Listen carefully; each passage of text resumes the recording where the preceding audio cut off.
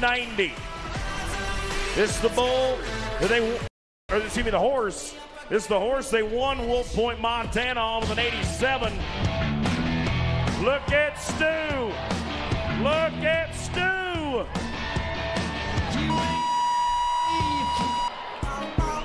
That is Cody Wright's youngest brother.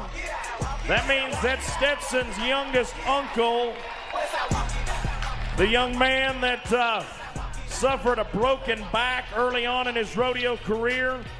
Healed up from that, went on a mission trip for a couple of years. Came back, now riding bucking horses just like the rest of the family. 85 and a half.